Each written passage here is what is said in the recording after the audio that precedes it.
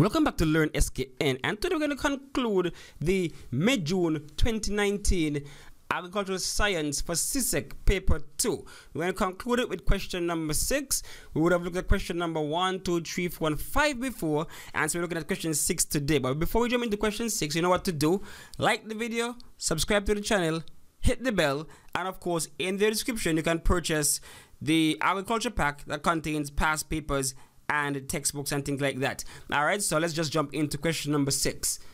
Farmer Telly wants to increase the size of his dairy herd but finds it very costly to rear bulls.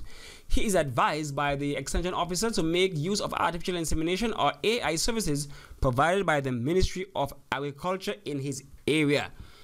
A.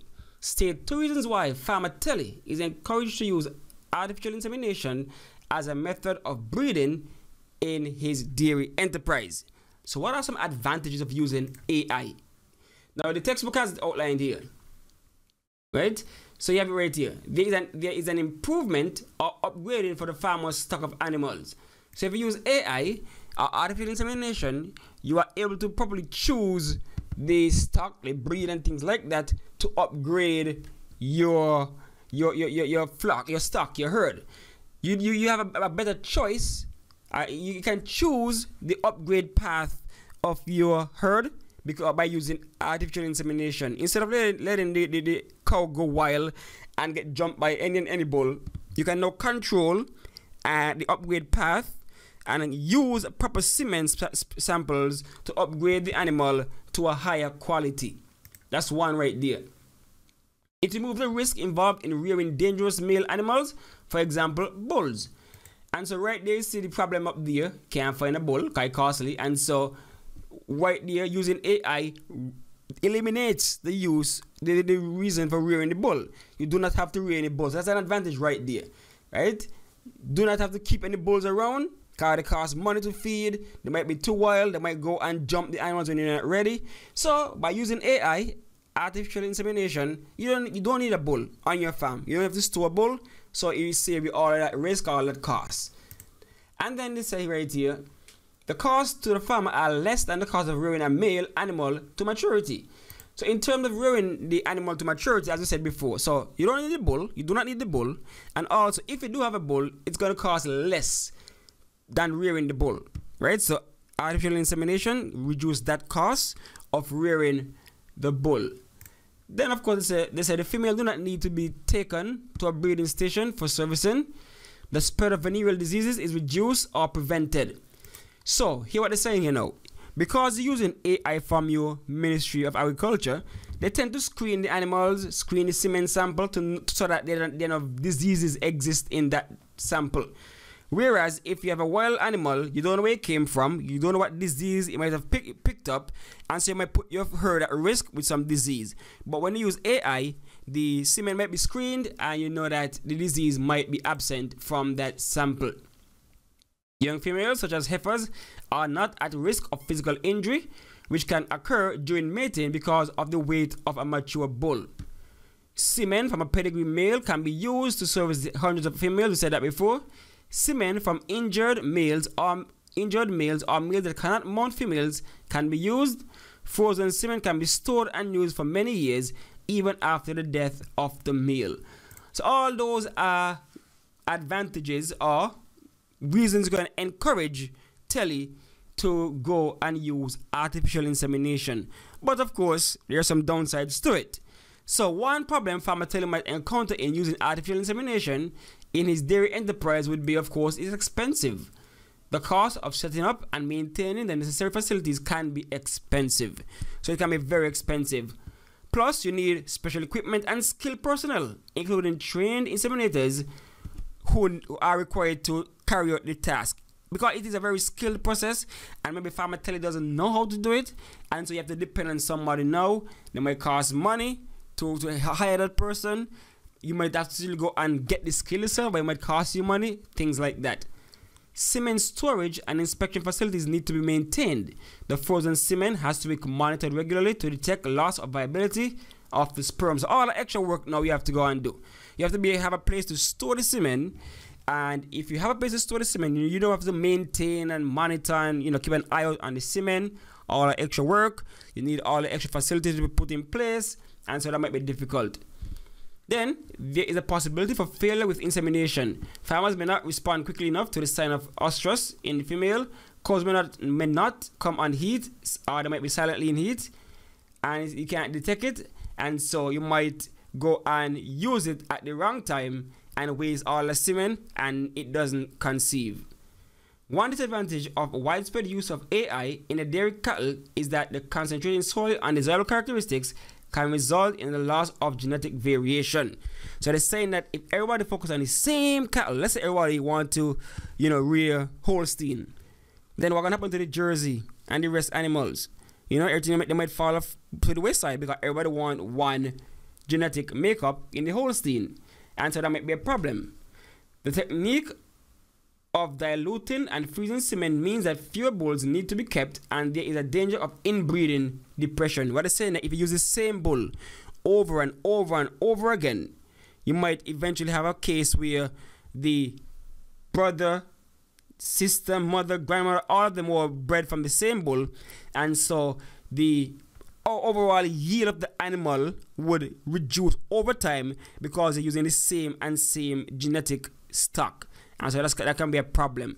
All right, so all those are disadvantages of using artificial insemination. Good. One mark for all. Just to choose one, one mark. B. After using the artificial insemination service provided by the Ministry of Agriculture, Farmer Telly observed that none of his animals, none of his cows conceived. Suggest three possible reasons why none of the cows conceived. Okay, one, they might not have been in heat. That's what I, they said it right here in the book right? They say there's a possibility of failure of insemination. Farmers may not respond quickly enough to the sign of oestrus in the female. That's one reason. So one reason he might have been too late to um, inseminate the animal. So the, the, the, the heat period gone. Might have been too late. Right? And two, the cows may have come and heat silently and he did not detect it. So he didn't just didn't even know that they were in heat. So those are two reasons why he might not be inseminated. Also, there are other reasons. The age of the animal. The animal might have been a little old, the cow might have been a little old, and so you might have a problem, you know, getting inseminated properly. So the age as well. Also, the health of the animal. The animals might not be in the best health, and so therefore, if they're not in the best health, then there might be a chance that they do not conceive after artificial insemination. They might not be in good health. That's the next one. The next one, the quality of the semen. The quality of the semen might not, not, not might not be up to standard, might not be up, up to scratch. It might be a poor quality. Or it wasn't stored properly, so when time comes to use it, it's not viable. So, uh, so then there's no conceive, there's no conceiving going on because one, the quality is poor, or two, is no longer viable because it was stored um, improperly. So all of the reasons why there might not be any and any, any of the cows conceiving. All right, good. So choose anyone, only one they're asking for, right? Uh, oh, they asked for three, and I gave you more than three, so you can choose those, and you can go to town and explain what might cause them to not conceive. All right, just another one to to continue. Was the process done properly? Remember, artificial insemination takes some skills. No, you might say you did it properly, but you didn't. And so there's no conceiving because it was not done properly. And so that's a problem right there. And one last one, were the cows, were they actually in heat though? Were they actually in heat? Were they ready to ovulate? Did they actually release an egg? You don't know, right? Because something you don't know, as I said, and said about before, it might be silent, but you might not know. So did they ovulate? If they did not ovulate, then there would be no there will be no conceiving of any cows anywhere. Alright, so you have a whole lot to choose from. Choose any tree suggestion and you get your tree max. Good. Alright. Next one. Farmer Zoe placed a batch of eggs in an incubator to hatch. After 21 days, she noticed that none of the eggs hatched. Suggest two possible reasons why the eggs did not hatch. Okay, why didn't eggs hatch? Okay, let's go. The equipment itself you might have had faulty equipment. The incubator might have been faulty. For example, the light source. Maybe there was not the proper warmth needed for the maybe the light, the light didn't provide enough warmth for the animal for the eggs to hatch. That's one. Two, maybe there was not enough ventilation in the area. It was too hot, too humid. The temperature, the atmosphere just wasn't right for the eggs to hatch. Uh, three, the eggs might not, might not have been viable. The eggs might not have been viable, might have been, you know, maybe not mature. They might have been, mm, should I say, spoiled maybe. The eggs might not have been viable, and so they did not hatch. Those are three reasons why there might not be any hatching. And of course, if you jump in there in your textbook, you will see certain conditions that are essential for incub artificial incubation. And so we looked at the heat supply. We said the temperature might not have been the best to facilitate the hatching. Then we said that the egg might not have been viable, meaning the egg might not have been fertile. And so if the egg is not fertile, it's not going to hatch. It also said the humidity might have been, you know, not the best humidity there. It might have been too warm, too hot, too whatever. But the conditions were not necessary, were not good enough for the egg to hatch. Ventilation, there might not have been enough oxygen and uh, carbon dioxide being circulating because remember we said that the eggs are basically alive and they actually do exchange gases still because they are porous. And so they exchange gases they have the gas the the ear pocket to the bottom of the egg there and so they exchange gases still. But if there's no way for the egg to exchange gases then it would basically choke off the egg and the egg would die and so there'll be no hatching. And then of course turning the egg this prevents the yolk from sticking on the shell and may be done manually in small box type incubators Mechanical turning is achieved by automatical devices which tilt the trays constantly. So maybe they did not turn the egg during the course of the incubation period, and so there was no hatching going on. So all these are reasons why the incubation might have been unsuccessful. Then we go down to the last question of this paper, the last question of the May-June 2019 Agricultural Science CSEC paper 2. Use of, upon closer examination of the eggs, the shells were observed to be thin and cracked. Explain one reason for this observation. Alright, so yeah, multiple reasons why the eggs might be thin and cracked. One, of course, the old bird. The hen might have been a little old, and as the animals get old, the hen gets older and older, the layers get older, the strength and the viability of the eggs tend to weaken. And so maybe the eggs were from an older bird. That's one reason. Two, the nutrition perhaps the birds were not being fed properly. For example, they might have lacked calcium in the ration. And so if you don't have the calcium needed, then the egg would not form, the shell would not form properly, would be weak and brittle, and so you'll have some cracking and they would be thin. So those are two main reasons why there might be cracks and it might be thin. The age of the bird might be too old, and also the nutrition that the bird received.